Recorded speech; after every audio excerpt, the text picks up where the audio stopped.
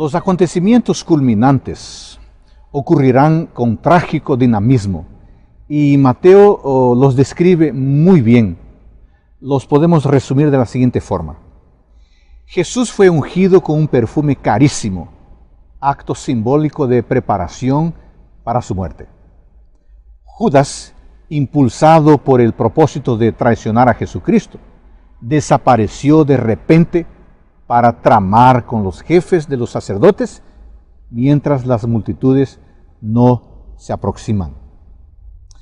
A la mañana siguiente, Jesús envió a los discípulos para hacerlos para hacer los preparativos en la casa donde se celebraría la Pascua.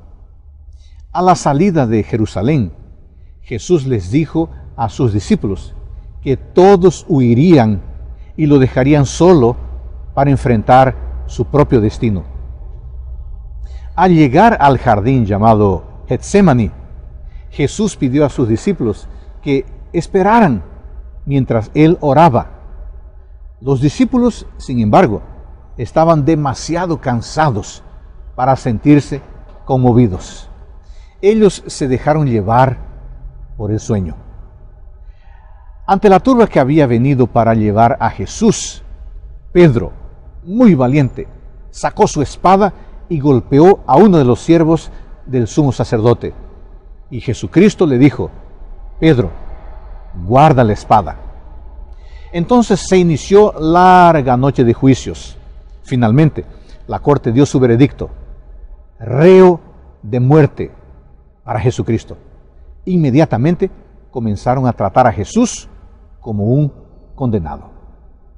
Pedro niega tres veces a su Señor antes del amanecer.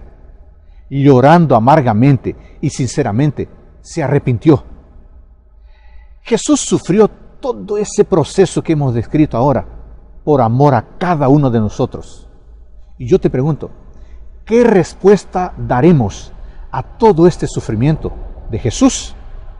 Tienes que tomar una decisión. Que el Señor te bendiga en este día.